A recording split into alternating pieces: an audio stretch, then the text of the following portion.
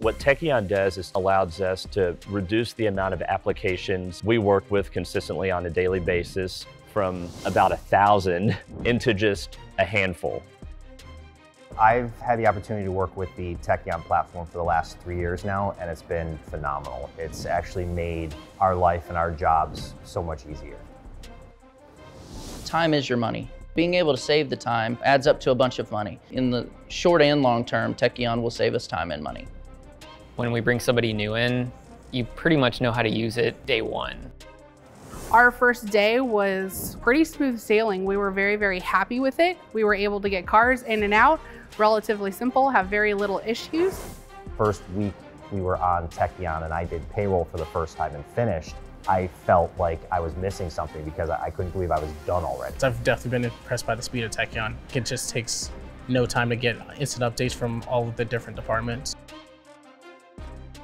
I want to make their job easier for them because when their job's easier, our customer experience is going to become a lot better.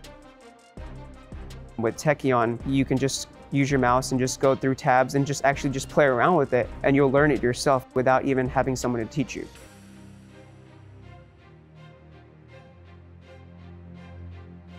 I was working on a Saturday and walked past the service drives and noticed a, a line of cars uh, out the drive. And you can tell that some of these customers had been waiting longer than what was acceptable. So I just walked up to them, took out my phone, opened up the app, and was able to check in a customer for service, never having done it before.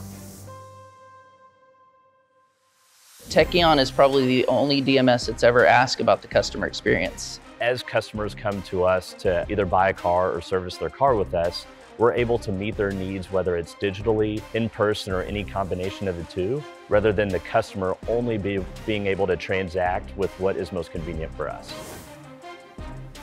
With Tekion, we had the opportunity to really uh, look at our processes and say, hey, does this do business the way we want to do business? So we have completely changed a lot of our internal processes to match the capabilities of the system.